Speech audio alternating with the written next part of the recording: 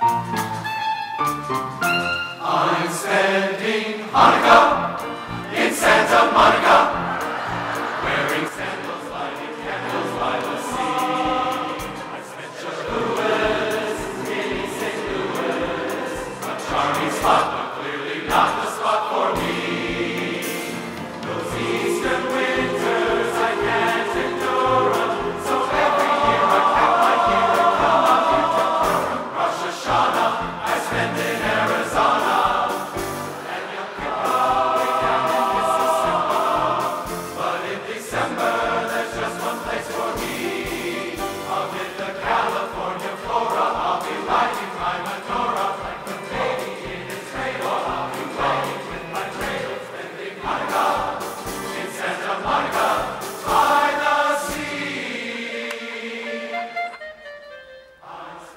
At one point, did the Seattle Men's Chorus just rhyme Rosh Hashanah with Arizona? That is I think- I think so. amazing. We did. the Seattle Men's Chorus holiday program begins this weekend. And joining us to talk about their program is artistic director Paul Caldwell. Hi, nice to Hi, see you. it's so good to be here. Thank you for having me. Okay, so if you've never seen a performance by the Seattle Men's Chorus, you're missing out. You That are. is just a little little glimpse of what the show's like, right? It is. And, you know, if 200 men being holly and jolly uh, doesn't get you in the mood for the holidays, nothing will. then yeah, you're a real Grinch, right? So it's called Sassy and Brassy Holiday. What can audiences expect? Uh, lots of dancing and singing. Lots of color, lots of Santas, lots of elves, lots of reindeer, and a New Orleans brass band. it's really hot. Reindeer? Reindeer. Reindeer. Reindeer. Real? This is like pink. We get fly them into the building, or they're flying around, or how does it work? No, they're dudes in reindeer suits. Oh, I got you. But they're adorable.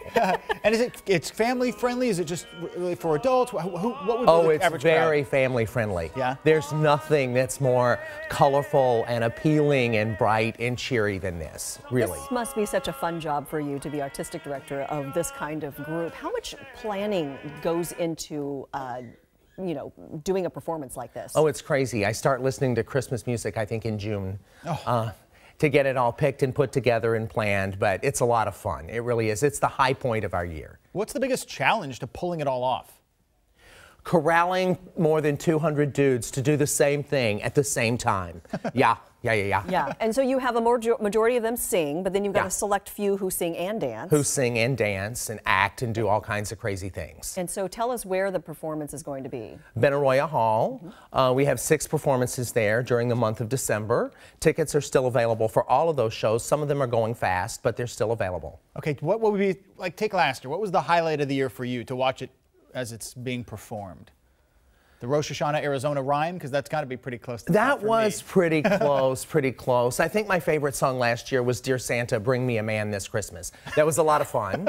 Uh, this year, there are just some really great things. I mean, the New Orleans Brass Band just spices things up a lot. It's traditional, familiar carols, beautifully arranged, and then there's just some really down and dirty jazz stuff. It's fun. Mm. And you want people in the audience to be laughing and roaring And cheering and, cheering clapping. Yeah, yeah, yeah, yeah. It It's a be a participatory sport. Yes. yeah. How do you compare the experience for you this year compared to now that you've got one under your belt, so to speak? I think the biggest thing is just, you know, I was so new last year, I didn't even know how to get to the concert hall. I was using navigation all the time. But, you know, this year I kind of know the lay of the land. I know where things are. I made it to the TV station myself this morning, so that's good. Um, it's just familiarity with the city. Seattle is wonderful. Seattle has been wonderful to me. It's one of America's great cities, and the Seattle Men's Chorus is one of Seattle's greatest treasures. It really is. So many uh, talented men singing in that chorus. 200 men, right? Yeah, more than. More than 200 More than. I think it's it's nearly 250 this year. Which is amazing if you think about all of those men on stage at the same time performing. It's an incredible, incredible. experience, you know. The lights go down, the curtain comes up, and you just hear this wall of sound, and you go, oh my gosh, with everything going on in the world today, there is hope when you hear something like that. Especially at a venue like Benaroya. Yeah. Ooh, the acoustics are nice in there. Okay, so Sassy and Brassy open Saturday night in Tacoma, is that right? In Tacoma on Saturday, Benaroya on Sunday. okay, thank you, Paul. Thank Appreciate you. it. Thank you so much for coming in.